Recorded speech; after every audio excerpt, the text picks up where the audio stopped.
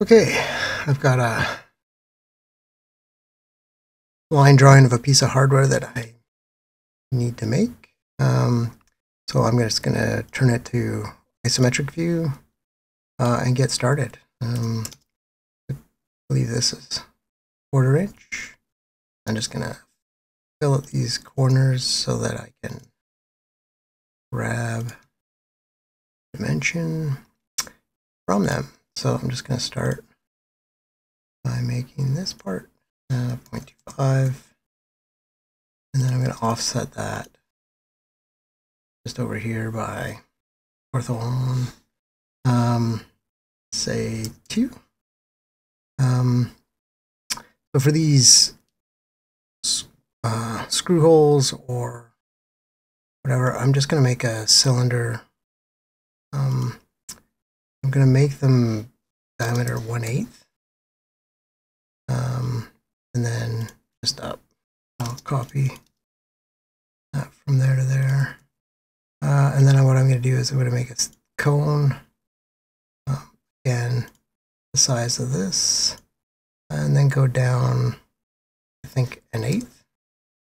And move that up to the top. And it's a quarter was how big that original plate was. Uh, I should have made just one, copied it together, and then just use that same tool on this. So now I'm just going to move these back the two inches that I offset that. I'm going to use a Boolean solid subtraction. I'm going to take my block and then I'm going to remove those tooling to give my countersunk holes. So let's look at it conceptually. Yeah, so you got your countersunk holes. Um, set this back to southwest isometric.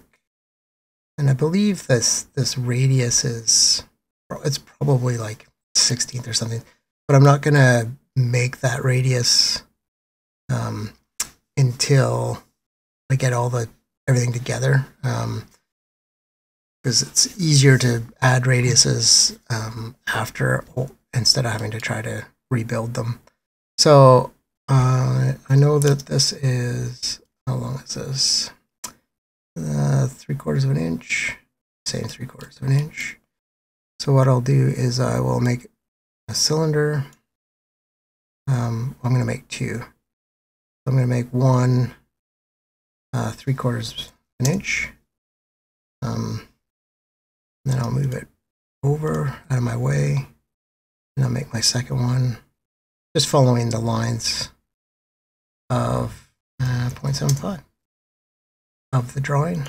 Did I move that two inches? Uh, let me just move this back from center. You can leave conceptual on or I just prefer to work in uh, wireframe, but you know, I'm very used to working in wireframes, so it's I, I can easily see the parts, but you know, I mean, you can use X-ray or you know, there's lots of different ways to do it. So you know, you can get familiar with how the shape looks. Um, but I'm just gonna leave it as wireframe. So then I'm gonna duplicate this over uh, and I'm going to move this up by two. Uh, should have been up by three quarters. I'll just move it straight up. I have ortho on, so everything's staying in line. Again, I'm going to use a Boolean solid subtraction. I'm going to take the outer shape. I'm going to remove the inner one. So this gives me my second one, second part that, re that receives the pin. Um, and then what I'm going to do is I'm going to solid union I'm going to union those together. I'm going to rotate 3D uh, this on the Y. So enter Y. I'm going to pick a space, like the center, at 90 degrees. I'm just going to rotate it up 90 degrees. Same again with this. Rotate 3D on the Y. Um, 90. Okay, so, yeah. And then what I'm going to do is I'm going to copy this over 0.75. I'm going to move this from center of that hole to the center of there. So now both of those are aligned. Um, and then I believe, let's just grab a dimension, center the bottom of the plate, 0.3246. That's, uh, that's what I'm going to use, 3246. So then I'm going to move both of these over from center to the bottom there. And then I'm going to move pre uh, up 0.3426. That gives me my, did I do that wrong? Let's see. Did I get the wrong dimension there? No, 3, 2, close. 6. Uh, it's flat on the, looks like it's sticking out of the bottom of it. Okay, so then what I'm going to do is I am going to want that to be removed out of there. I'm going to make a box. I'm going to fill up the bottom here. I'm going to make two copies of this. Um, one, and I'm going to move the other one over 0.75. And what I'm going to do is I'm going to do a solid subtraction. This part, I'm going to remove that bottom, flattens out the bottom. I'm going to repeat that on this outer part and flattens out the bottom. Now, what I also want to do is I want to copy this pin and that, because I'm just going to use those.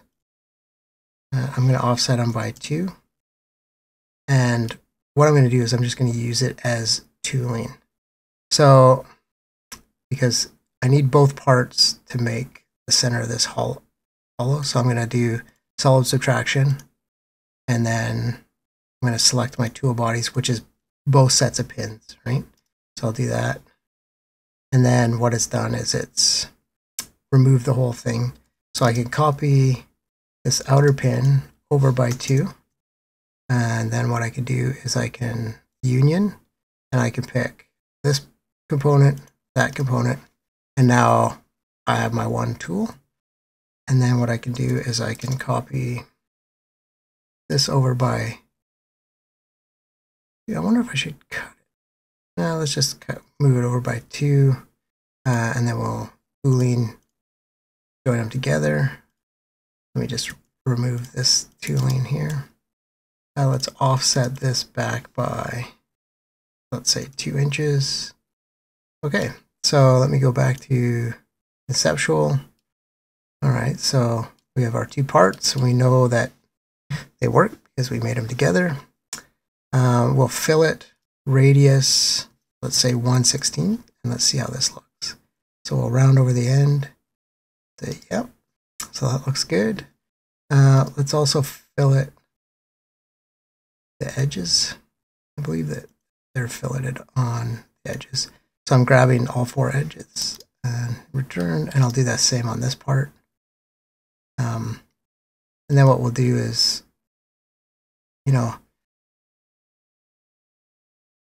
I like to, you know, radius all the edges when I'm drawing a model because the reality is nothing is ever perfectly square. But um, trying to place this in our AutoCAD drawing because I will be using it um, on the back of a mirror, um, and uh, you know, I want to be able to grab a, a, a sharp edge. So for you know, for the model I'm going to use in production, I'm going to leave edges on it that I can grab. But for now, I'm going to fillet radius uh, 132nd. And what I'll do is I'll grab that outside edge, that outside edge, and what I'll work my way around the top and do the same on this. So I you can cross select, I believe, um, but I'm just going to pick the ones I want and do the same to this component you know, and then it kind of gives us a little more realistic looking part. You know, and it's doesn't it's not really taking too much time to, you know, make it look nice. So again, um, I can copy this. Actually, let's let's copy both parts uh, over by say five and move by two. So there we go. There's our, you know, fairly simple, straightforward parts. And if I go to the top and I flat shot it, um, I don't want to show hidden lines. Create, I'll just a point here to insert. Um, and I just, I'm entering, I don't want to change any of the values, but you know, when you look at it, it's pretty close to, you know, the parts that we already had. Um, you can flat shot it at all the different angles to get your different views and stuff, but yeah, there you go. Um, just how to make a 3D object from just some simple line art.